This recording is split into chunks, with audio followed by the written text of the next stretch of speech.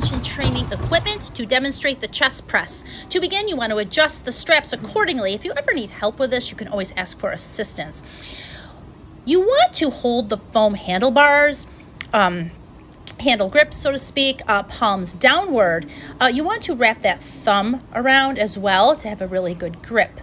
The purpose of this exercise is to develop strength of the upper body. It also incorporates your glutes and core to stabilize yourself on the straps. You want to extend the legs behind you, feet shoulder width apart. Slowly lower your chest toward the hands, then extend the arms back, almost similar to a push up.